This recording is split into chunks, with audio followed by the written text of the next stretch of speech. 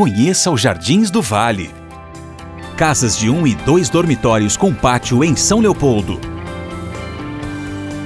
Tenha toda a segurança e conforto de morar em um condomínio fechado, com todas as vantagens do Minha Casa Minha Vida.